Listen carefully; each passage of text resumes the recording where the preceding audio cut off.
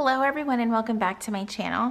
In today's video, I wanted to go over how I have recently updated my storage and organization of my Erin Condren stickers. Now, I have been ordering stickers from Erin Condren for a very long time since they started their um, original sticker book. I think I, yeah, I have all of them and maybe multiples of them. So this past Sunday, I sat down for what was probably three to four hours and I just decided they were just kind of all over the place and I really needed to get my organization system down so that I could better use these stickers because I kept buying them, but I wasn't using them. So some of this system was already in place and then the other part of the system I just kind of started this past weekend when I reorganized some things. So let's go ahead and get started with the first half of the system. So these are in albums from Amazon. I do have them linked in my Amazon shop, but just, just to give you a heads up, at the time that I'm filming this video, these albums are out of stock. What you'll wanna make sure though is that you order the ones that say they are six by eight. There have been a few times where I have linked things from Amazon and you go to click on the item and the size changes. So just make sure that you are ordering the books that are six by eight. The five by seven will not work for the pages that I'm about to show you. So you can go ahead and change the cover. I simply just took a sticker book, cut it in half and put it in here as the cover for this book. So in here I do have kits and some of the monthly sticker books from the past because the previous monthly sticker books were a larger book like this. Now they currently come in a much smaller, more compact version like so. So everything that's in this book are for books that are these sizes right here. So I just have in this one all of my weekly sticker kits or just sticker kits. I'm not really sure that they're necessarily weekly sticker kits from Erin Condren in here. Um, and I, like I said, I, I have way too many.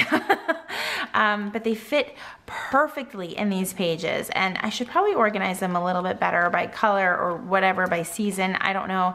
But um, I just kind of stick them in here as I buy them or as I come across them. And some I'll just keep even after using parts of them because I want to use other parts. I just don't want to toss it out. Like the Go Wild sticker could obviously be used for a future Go Wild event. So, oh, and I have an empty page right here. I must have used that sticker sheet, but yeah, it just keeps going. And then what I ended up doing, if I could ever get to that part of the book is it kind of does have a halfway point in the book. So at the halfway point, I filled in with the monthly edition sticker book. A lot of it has already been used because I was using this in my monthly notes pages, but I just prefer everything to be here. And this kind of takes the place of several, several books worth of stickers, and I'll show you more in the next book. So the albums do come from Amazon in a two pack.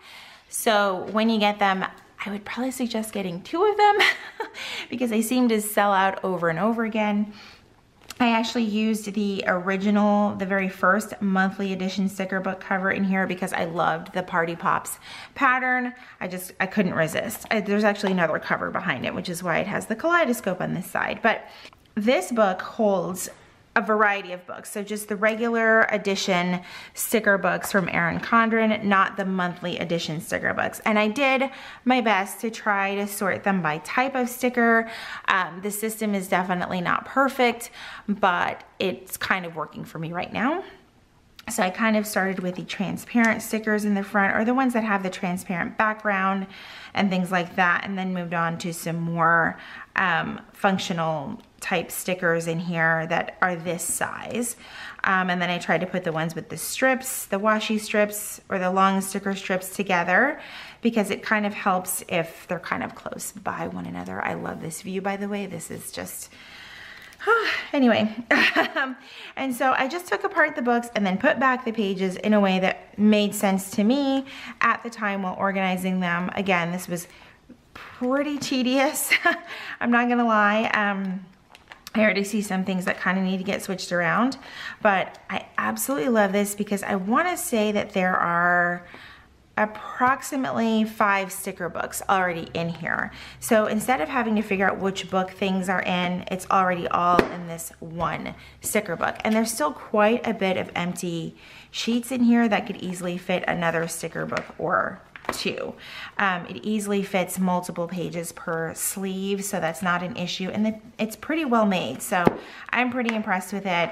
Um, I have two different sticker book covers on here, but this has definitely worked for me and I, I'm absolutely loving it. I first heard about these albums from Jen Ross and she heard about it through someone in a Facebook group and you know per usual we all just share ideas and kind of run with it so I'm really glad that she shared this and um, I'm able to use it in my sticker storage system.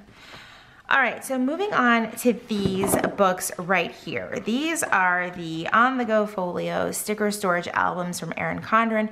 Unfortunately, these are also currently out of stock. However, they do come back quite often, so just keep an eye on the Erin Condren website. So I kind of got this idea, and I haven't seen Jen McIntosh's setup quite yet, but she had shared that she was ordering multiples of these sticker books because she was going to implement these implement these in her sticker storage system as well. Oh my God, that was a mouthful. Okay. I'm sure that there's many, many different ways to store your stickers in here or to divide them up in a way that makes sense to you. So I divided mine up in a way that makes sense to me. And no, I did not order all of these albums at once. I think I ordered two when they initially came out. And then I ordered like one more random one in an order. And then during launch time, I ordered two more books because I was like, okay, the time is coming. I really need to order these sticker books. And I think they're nine dollars a piece, but I believe that they fall under the accessories. So if you order four or more, it's like 15% off. I would just kind of, as they come in stock, add one to your order here and there if you can. All right, so let's start off with the first one. And I did label mine on the side because I'm a little extra and on the front. Um, just to make it easier, if I have these all on my desk, I'll know which book to grab. And the label maker that I prefer is the Brother P-Touch. And this is the, what is this? the D210, model PT D210. I love this one. I've had it for several years. I use the black on clear tape and it just works perfect. These books kind of have like an outer plastic, I don't know. They're pretty durable, that's for sure. They do fit in the on-the-go folio um, covers from Erin Condren. I just don't keep mine in there. It's just a personal preference. I don't like mine in there. Okay, so moving on, I have quotes and events in here, and like this is just a sticker from one of these seasonal surprise boxes. And I decided to keep this one for like all things like celebrations and birthdays and holidays and things like that. And then in the back of some of the petite planners, they have these stickers. So this comes in the fitness petite planner, the travel book, um, the budget book, the meal planning book, um, I think this is from the gratitude journal. These were just some extra Oh Joy stickers that I had. Um, some of these are from like a seasonal surprise box and things like that. These just don't have a very, um, and I think some of these are from a seasonal surprise box as well. Um, and so I just kind of kept these all together along with some Christmas ones in the back. And there's actually still several sheets left in here. I want to say that these come with 24 sheets. There's like 12 in the front and 12 in the back. There's also kind of a middle section in this book as well. Let's see. Oh yeah, it's right here. Let me make sure that there's actually 24. One, I missed one page going over. Yep. So there's 12 in the first half and you have like this sort of middle seam right here and then 12 in the second half. So you have 24 and you can fit multiple pages. Um, this plastic page protection stuff that they have in here is not quite as thick as what's in this photo album, but I haven't had any issues with any of it like ripping or tearing as I'm taking sticker pages out. So that's what's in the first book. Second book is kind of jam-packed. I just kind of called this my functional book because I think it's just truly the more functional of all the stickers that I have organized in here. It's just a lot of very basic shapes. Some of the um, stuff from, some of the stickers are from the back of the Erin Condren Life Planner, and I really should move this over to that one now that I think about it. This can stay back here, of course. And then just a couple of the, these are from seasonal surprise boxes as well. So I'm probably gonna move them over. Now that I'm flipping through, I'm like, oh, I need to move a couple sheets over. Um, but that's just what I have in this book. And this is probably one that I would probably carry around with me most often if I wanted to, um, just because these are more basic functional stickers to use in your planner. Next up, I have the school books. I kind of took apart the these two sticker books right here and put them in here. And I think this was last year's sticker book and then this year's current sticker book that just launched. And I just kind of liked keeping these together because I feel like I would use these more around school time, although these could easily be put in the functional sticker book as well. But some of them have apples and I just decided to keep them all together in here. I also love using the ones that have like meeting and the two in the middle um, in my regular planning as well because I attend quite a few meetings, but I loved these. I just took the books apart and put them back together in an order that made most sense with the like stickers together. So that is that one. Next up, I took the new Layers and Flower Power sticker books and I put them in one book. Here, I just kind of liked the way that this worked. When these are new, you kind of have to work the, the binding there so that it will lay flat a little bit better.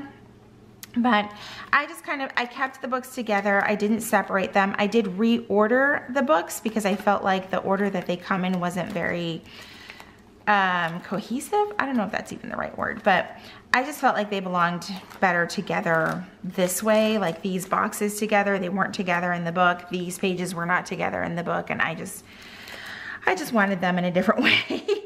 but um, so there's a couple extra sheets there, and then starts the Flower Power book, which you guys have probably already seen a million times. But I love this. I'm probably going to use these a lot in my daily duo planner. And for my final sticker book, I decided to put together the sticker subscription kits or, you know, bundles that kind of come from Erin Condren. Again, this is another new book, so I kind of have to keep bending it back so it'll lay flat. But um, I just decided to keep all the stickers that come from the subscription together and they're kind of seasonal. At least they started going to seasonal. They started just not seasonal as you can see in the beginning and then they switched to more like kits, which I love. Um, and again, I could see these being great for a couple of pages in the Daily Duo or even an entire week because they give you so many. Um, but here are just a few from the last um, sticker subscription from Erin Condren, which is quarterly, and you can just check out on their website when and how to sign up. So I liked the system and hopefully I can actually go back in the coming year and use these because I completely forgot about these because again, I didn't have my stickers organized and as you can see, I didn't use the Valentine's Day or the St. Patrick's Day one. Um, and here we are, this is the kit for May and I'm probably gonna try and use that before the month is up. All right, so that is everything um, for my Erin Condren sticker organization. I do still need one more of these, mainly because I want to make one for the new monthly sticker book that comes in the smaller size. I always order two of each sticker book, not necessarily at the same time, but um, just so that I can have a backup because they do things like this where they only include like one strip of the washi and if you're doing a layout in your weekly you kind of want it for both sides. However now that I'm looking at this this is perfect for a 4th of July page in the daily duo. So it is very functional for both planners, but um, I ran out of space to put them in these books, and I think I want to devote one to just the monthly sticker books in this new size. I do still have a lot of the older sticker books, but a lot of them are missing a lot of pages or, you know, are pretty fairly used up. Um, but I don't think I'm going to put these into albums. They're just going to kind of stay stored in my office, and I'll just pull them out as needed. All right, so that is everything for my updated Erin Condren sticker storage system. It's definitely not a perfect system, but for now, it's definitely got me to a more organized place so that I will use my stickers more, hopefully. I hope that you guys found this video helpful. If you have any questions about any of the items that I mentioned, please feel free to ask down below in the comments. If you like this video, please make sure you give it a thumbs up. If you're new here, welcome. I hope that you will stick around and subscribe. If you're already subscribed, make sure you hit that notification bell so that you know when my videos are posted here on YouTube. As always, thank you guys so much for joining me and I will see you in my next video.